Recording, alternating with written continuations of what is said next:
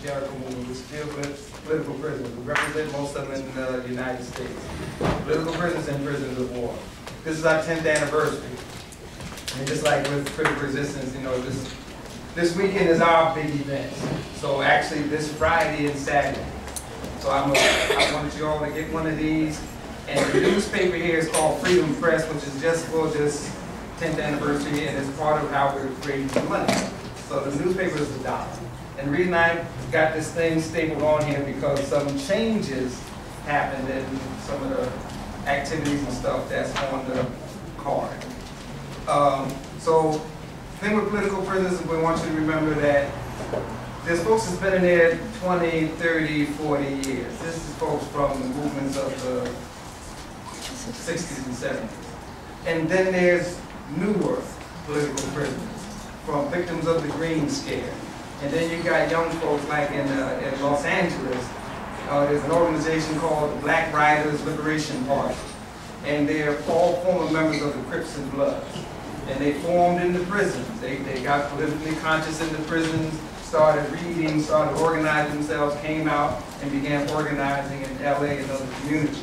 And um, as a result of that, the, the police department, FBI found some ways to entrap them in- with some charges.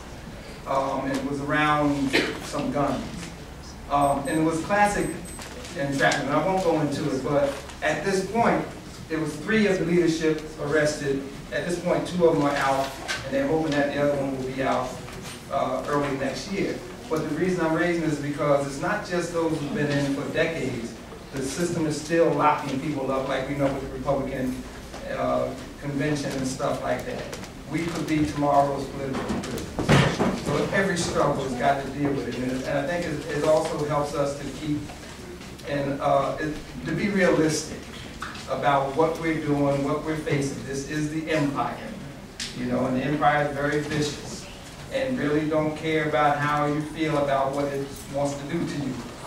You know, or break it, break you up, your families and everything. We know how they treat people. So support the political prisoners also means that you remember and be realistic about the viciousness of this system, that you remember the stories that bring these political prisoners to the fore, from Leonard Peltier, that, uh, you deal with indigenous issues, the Black Liberation Army members, you know, uh, Black Panther Party, the Republic of New Africa, the Puerto Rican independence movement, the Weather Underground. There's stories connected here that go back to the very foundations of this empire. And we, we can keep that in mind. I think it helps us to remember what we're doing. That we're not trying to reform this system, we're not trying, trying to tweak it to work better. We're trying to get rid of it so that we can live our lives.